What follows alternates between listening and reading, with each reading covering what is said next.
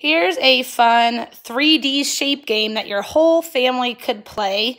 You can just play it with yourself. You can go play with your sisters or brothers. It doesn't matter. Mrs. Mascho has four kids that can play this game, but it's okay if you do it yourself.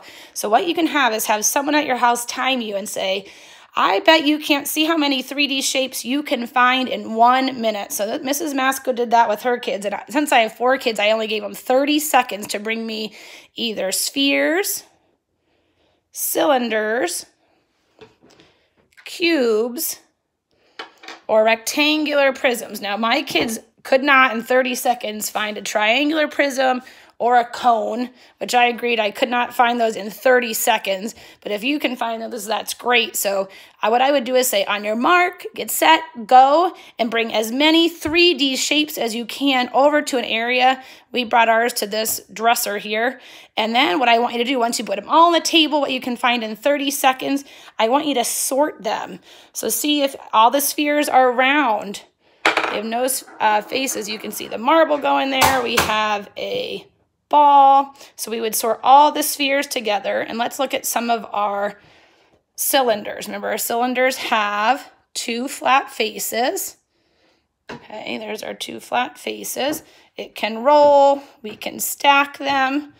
There's a can would be a good one. Okay, we have for our cubes, which was interesting, we have a dice. We were playing a game the other day, so they found a dice. Okay, you can practice counting how many faces do they have? How many vertices? Okay, how many sides? And they had a little game they found because we were sorting, so that would be a cube, it's flatter. Up, oh, what would the can be? A can would be a cylinder. And here's some rectangular prisms. So you can practice. You can say that you'll see a rectangle on one side, a square on the other.